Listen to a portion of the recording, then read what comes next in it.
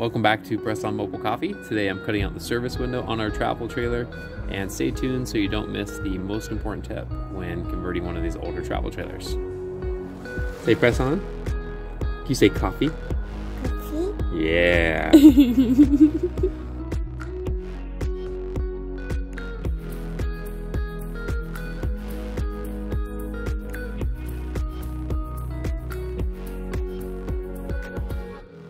So first things first, when installing a service window, uh, what to consider is the accessibility for the customer. So overall height, I don't like my window really high up where you're looking down at the customer. I want to be um, as close to eye level as possible. So that's sometimes hard to attain when you're in a trailer and you're already lifted up over the yeah. So one sidewalk. thing that's nice about these older travel trailers, they do sit a little lower that is the one of the benefits to having a travel trailer versus a actual truck like an old box truck because they sit up much higher usually.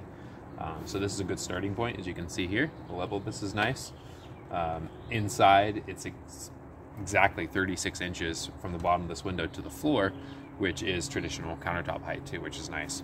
Something else to consider as well you could always put in a bigger window it's not easy to put in a smaller service window. If you're gonna change the starting point of where your window begins, so say if I move this over, you're gonna have this void that you need to fill, which means finding siding to match to fill that void, uh, which you could find, but then you're gonna have a weird seam there.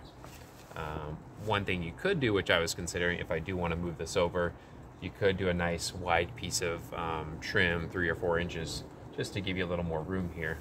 Because this window right now is uh, actual window itself is about 15 inches. Ideally I'd like to have a 24 inch window. If I start over here and go 24 I'm outside the actual trailer that's not going to work. If I start it over I need to come in about to here realistically if I did want to go with the 24 inch window. So there's this giant space here that I would have that would just be open. I need to fill that somehow. So probably not to work for a 24 inch window here. I'm to have to go with something a little bit smaller.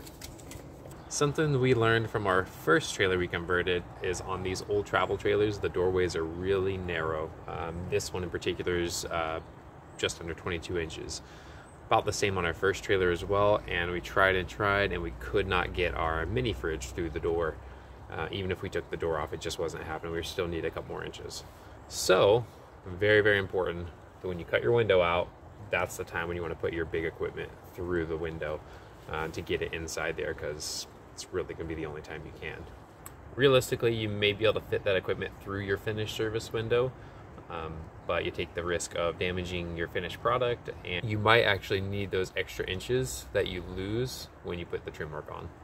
One of the items that you'll probably want to stick through the window as well when you have it cut open is cabinets. So if you're not going to build the cabinets yourself inside the trailer, there's no way you're going to get them through the door, just like your other appliances. Most cabinets are 24 inches deep if you're going traditional cabinets.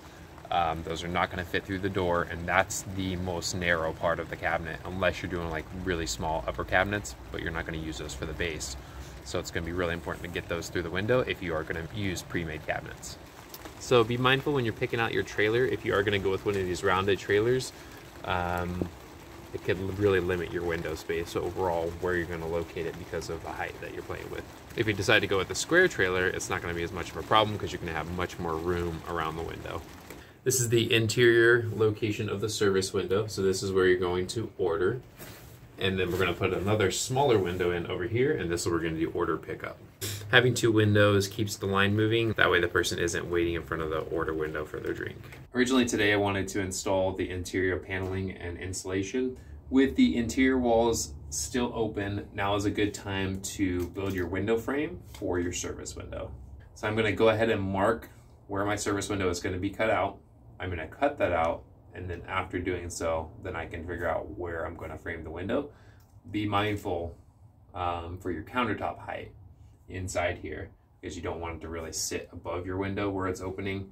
Um, I'm going to actually try to, since this is 36 inches, I'm going to actually try to have my countertop be right in line with the bottom of my window and possibly extend out the window a little bit as a shelf.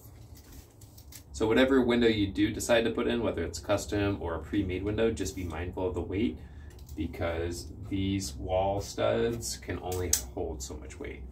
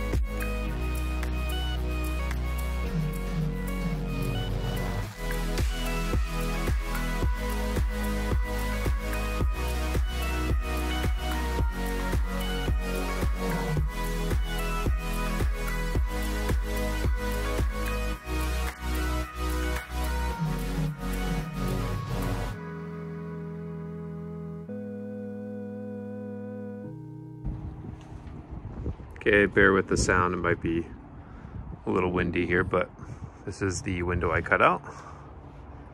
It's 36 by 20. Couldn't go much higher because I'd get into this here and I couldn't go much further that way. Otherwise I'd have too big of a gap to fill here. I got a three inch space here, which I can cover with trim after I fill this out here. I did realize I could use part of what I cut out if I need to to patch in that too, but I think we'll be just fine using trim. That goes all the way around there. Overall, I think it's gonna look pretty good. I just finished framing out the service window. Basically what I did after cutting out the size I wanted was just put new wood supports all around. I beefed up the side of the windows using some uh, basically a two by two by ones. They're like inch and a half by two inches, just to give it better support for the hinges. Um, and then a new kind of top plate over the window as well. It turned out really nice. Uh, today we are framing in our service window. Pretty much the same way we did it on our first trailer. So we already made a video for installing a service window on our previous trailer. So check that video out for a more detailed explanation of how to do so. Only difference is we are using these trim head screws here, which I highly recommend. Great uh, screws, they don't split the wood, um, really easy to use. Uh, and then the other difference um, is this countertop extends fully outside the window. So it's the countertop and the shelf are one, whereas before we had our cabinet and then our shelf kind of mounted on top of that. So it sat up a little bit and then we had to put brackets underneath uh, but this one's great because this is acacia wood, so it's actually indoor-outdoor wood, so it'll hold up much better in the elements.